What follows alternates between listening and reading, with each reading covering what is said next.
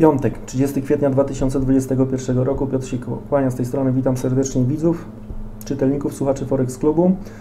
Przed nami długi weekend, w związku z czym ten piątkowy poranek poświęcimy sobie kryptowalutom. Końcówka miesiąca, bardzo jestem ciekaw, jak to będzie wyglądało z perspektywy rysowania tych e, największych wykresów miesięcznych. Do tego sobie będziemy wracali. E, natomiast e, tutaj sobie popatrzymy z perspektywy od tygodniowego w dół na kilku, na kilku instrumentach. Zaczynamy od Rippla, który ponownie testuje 1,50 czyli po powrocie w rejon 1 dolara 90 centów. No i tutaj oczywiście gratulacje, bo o tym żeśmy sobie rozmawiali kilkukrotnie, kilka stref popytowych żeśmy sobie wyznaczyli. Gratulacje dla tych, którzy ewentualnie postanowili to tąpnięcie, które mieliśmy na krypto, wykorzystać do ewentualnych zakupów. Dolar 90 centów jako potwierdzone miejsce popytowe. Dotarliśmy do miejsca, które może być traktowane jako górny swing e, na chwilę obecną z perspektywy wykresu tygodniowego. Bardzo jestem ciekaw, jak kurs Ripla się tutaj zachowa. Natomiast e, no, gorączka ma miejsce. E, jeden z największych udziałowców Ripla, będący poza zarządem, stwierdził w jednym z wywiadów, że jeśli Ripple rozwiąże problemy z sekiem, to jedna ze spółek współzależnych ma szansę mieć IPO. Wyobraźnia inwestorów została od razu pobudzona. 1,50 na tygodniowym górny swing testowany. Zaraz zobaczymy, jak to wygląda z perspektywy wykresu dziennego. I widzimy tutaj dość, można powiedzieć, ostre flagowanie, clean, próba wyjścia górą w związku z czym kwestia górnego swingu na dziennym to są okolice 1,90 i stopy powyżej dwóch mają szansę być e, brane pod uwagę, w związku z czym najprostsza rzecz, którą możemy zrobić z perspektywy najpierw zasięgów po wybiciu górą, to zmierzenie tych wszystkich e, tego ruchu głównego w kierunku dwójki odmierzenie od dołu i tutaj kwestie 2,40 e, mają szansę e, być brane pod uwagę na Ripplu. Ja bym powiedział, że to trójka, o której żeśmy e, rozmawiali jakiś czas temu, te poprzednie maksy również są w zasięgu ewentualnie kupujących. No to jak pod tego Rippla podchodzić w takim razie? No wydaje się na ten moment, że kwestia, nie chciałbym powiedzieć, że najprostsza, bo to nie ma tutaj rzeczy prostych, E, natomiast e, dwa poziomy tak naprawdę e, wyglądają bardzo, bardzo ciekawie, a mianowicie po pierwsze ostatnie miejsce słabości, które nie zostało przetestowane jak widać, czyli okolice 1,20, no i to jedno wcześniejsze powiązane z popytem, który został wybity, tak, bo mieliśmy, mieliśmy wzrost, bazę, kontynuację, bazę, kontynuację, tak, za pierwszym razem próba podbicia i przetestowaliśmy tą drugą bazę, w związku z czym obydwa miejsca wyglądają e, zachęcająco i ewentualnie z perspektywy skalowania, tak, czyli jeśli domkniemy dzień na takich poziomach, na jakich jesteśmy na chwilę obecną, zobaczymy retest 1.4, 1.3, a później ewentualnie między 1.2 a 0.9 ponownie wziąłbym 50% podstawę tej świecy wybijającej, czyli ponownie jedynkę, tak?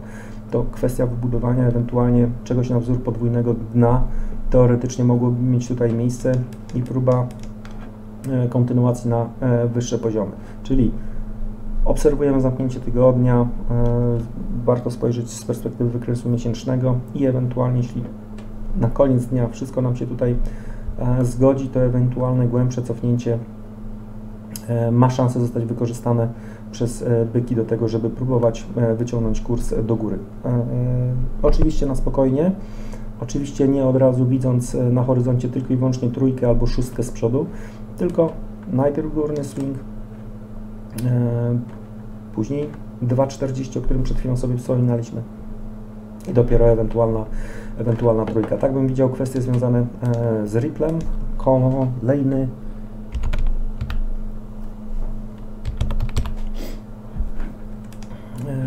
Instrument to band. Codziennie jakaś nowa, jakieś nowe porozumienie, jeśli chodzi o współpracę. Może to jeszcze nie jest chainlink, ale myślę, że w kierunku chainlinka zmierzamy. Generalnie rzecz biorąc, na ten moment, jeśli chodzi o górne cienie, to widzimy, że poziomy powyżej 10 stanowią potężne wsparcie. Na ten moment 1 do 1 mamy wyrobione, tak? Na ten moment kwestie związane z e, ewentualnym nadbiciem, e, potknięciem w cudzysłowie, e, stanowią, że budujemy sobie według mnie range pomiędzy 10 a 20, czyli wszystko, co teoretycznie poniżej 15 na ten moment ma szansę e, na bandzie być takim poziomem e, pro, propopytowym e, i po dłuższej ewentualnie konsolidacji, skoro mamy między 10 a 20, no to po wybiciu 20, po zamknięciu powyżej 20, no mamy szansę na 30-35, jeśli uwzględnimy górny cień, bo wtedy ten range zwiększa nam się o kolejne 4-5 dolarów, w związku z czym E, potencjalnie e, zasięgi w okolicach 30-35, e, jeśli chodzi o band.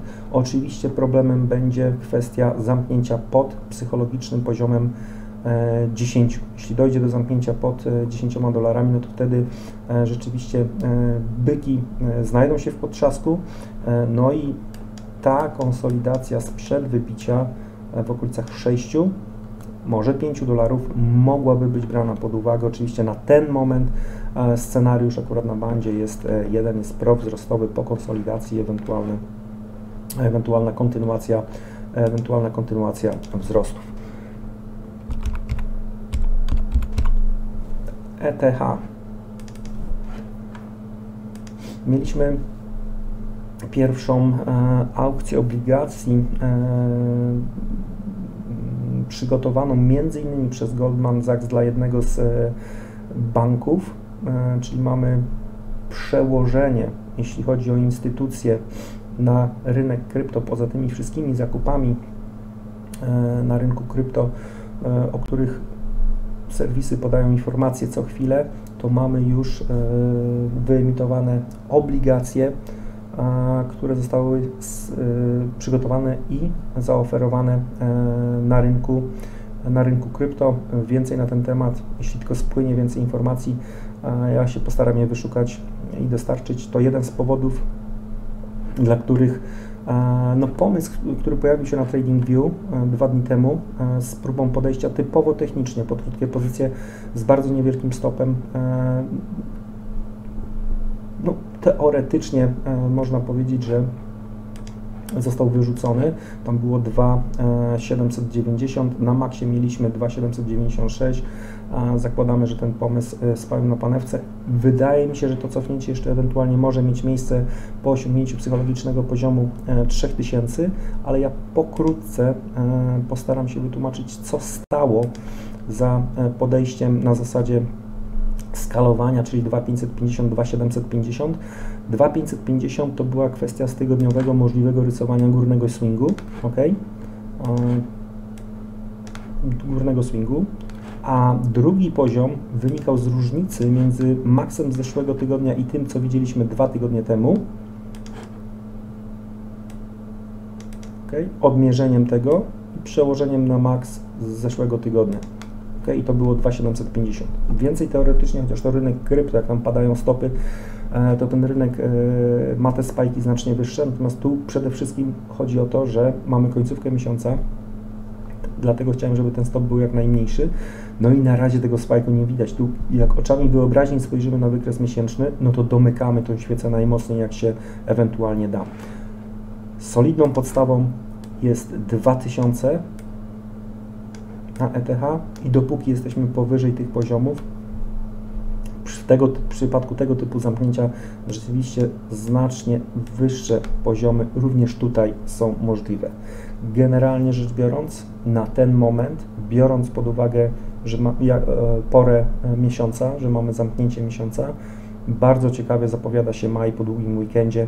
Zobaczymy, czy bykom e, uda się przetrwać i kontynuować wzrost, w związku z czym z perspektywy krótkich pozycji e, była próba podejścia na ETH z krótkiej strony rynku. Wygląda na to, że to jeszcze nie czas.